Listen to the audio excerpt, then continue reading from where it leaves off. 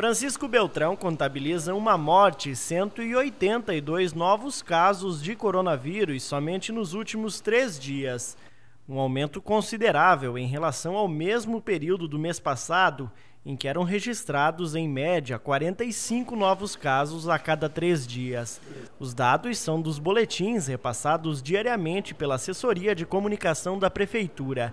O secretário municipal de saúde recebeu nossa equipe disse que a administração está em alerta para este crescimento.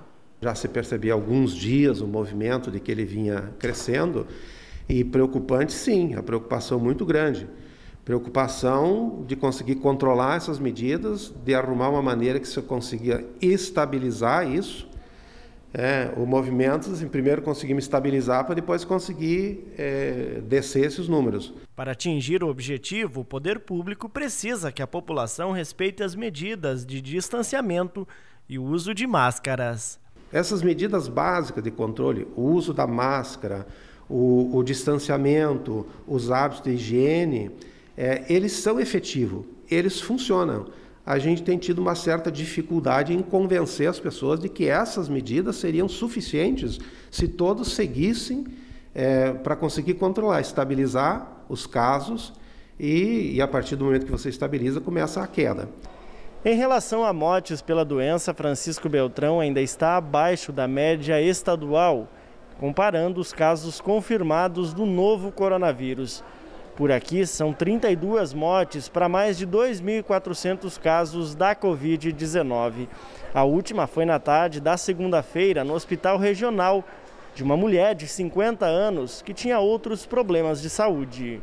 De acordo com dados do último boletim, Francisco Beltrão possui hoje um total de 2.462 casos confirmados da doença. Destes, 310 pessoas estão em tratamento, 18 internadas, 3 em UTIs e 15 em enfermarias. De acordo com a administração municipal, se os números não baixarem, não está descartada medidas de contenção, como novamente o fechamento de casas noturnas.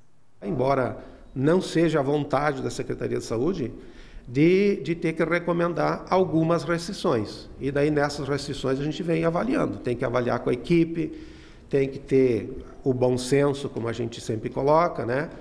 mas de recomendar algumas medidas restritivas para ver se a gente consegue primeiro estancar esse crescimento para depois sair para a diminuição dos casos. Essas medidas restritivas pode ser o fechamento das casas noturnas? É, acreditamos que provavelmente as casas noturnas seriam um dos primeiros itens a ser é, fechado pelo, pelas informações que a gente tem.